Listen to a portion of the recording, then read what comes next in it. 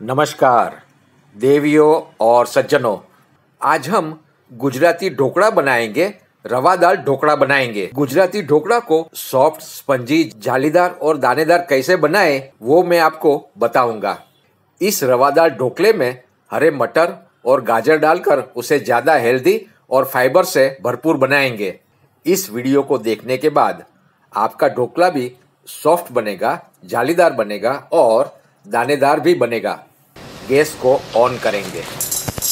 और एक कढ़ाई में इस चना दाल को भून लेंगे। बिना रुके चलाते रहेंगे। इस चना दाल को भूनने में ज़्यादा वक्त नहीं लगेगा। दो तीन मिनट के बाद हमारी चना दाल भून चुकी है, हल्का सा कलर आ गया है।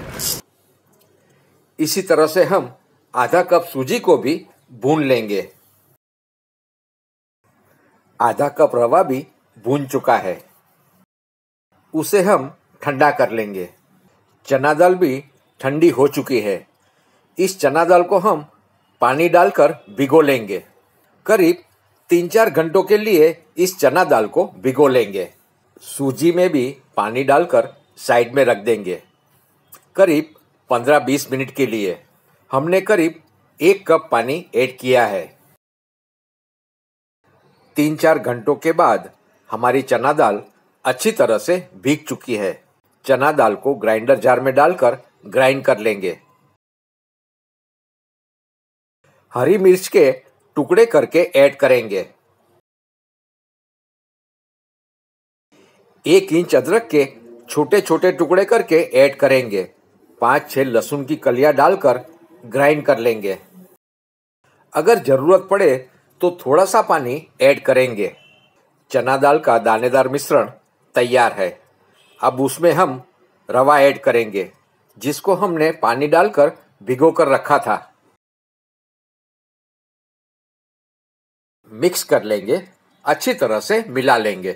थोड़ा सा पानी ऐड करेंगे और डालेंगे आधा टीस्पून हल्दी पाउडर। सेंधा नमक डालेंगे स्वादानुसार। आधा टेबल स्पून शक्कर ऐड करेंगे और अच्छी तरह से मिला लेंगे। इस मिश्रण के टेक्सचर पर ज़रूर ध्यान दें। लेमन जूस ऐड करेंगे। हमारा गुजराती ढोकड़ा थोड़ा सा खट्टा थोड़ा सा मीठा होना चाहिए। मिला लेंगे। एक चौथाई कप हरे मटर को कोर्सली ग्राइंड कर लिया है। एक गाजर को भी ग्रेट कर लिया है। हरे मटर और गाजर को चना दाल के बेटर में डालकर कलरफुल बनाएँगे हेल्दी बनाएँगे। मिक्स कर लेंगे, अच्छी तरह से मिला लेंगे।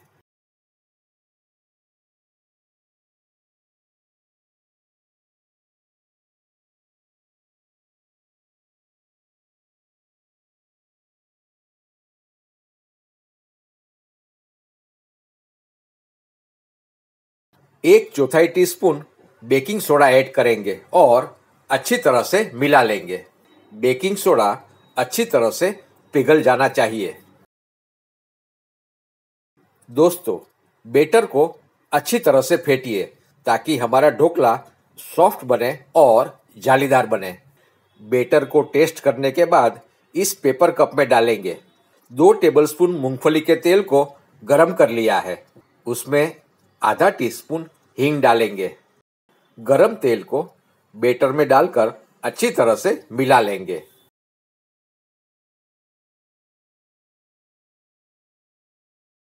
थोड़ा सा पानी डालेंगे और उसके बाद इनो फ्रूट सोल्ट डालकर मिक्स कर लेंगे, अच्छी तरह से मिला लेंगे।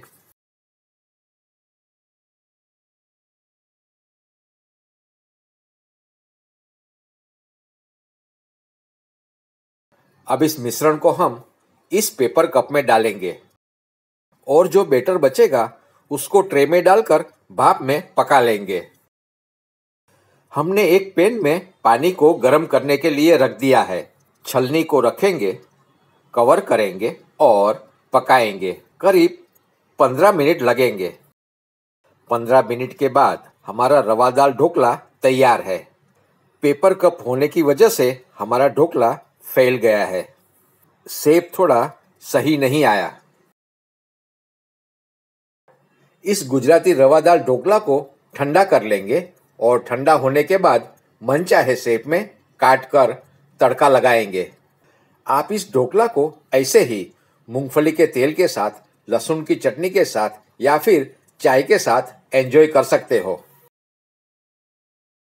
देवियों और सज्जनों, हमारा हेल्दी फाइबर से भरपूर गुजराती पॉपुलर फरसाण खट्टा मीठा गुजराती रवादार ढोकला तैयार है ये ढोकला सॉफ्ट है स्पंजी है जालीदार है दानेदार है हम इस ढोकले में तड़का लगाएँगे वगार करेंगे मूंगफली का तेल लेंगे तड़के के लिए तेल गर्म होने पर सरसों ऐड करेंगे करीब आधा टेबल स्पून सरसों ऐड करेंगे करी पत्ते डालेंगे एक टीस्पून सफ़ेद तिल, आधा टीस्पून हींग डालने के बाद पानी ऐड करेंगे।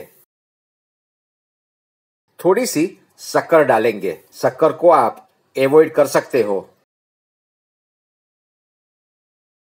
और आखिर में रवा दाल ढोकला डालेंगे मिक्स कर लेंगे, अच्छी तरह से मिला लेंगे।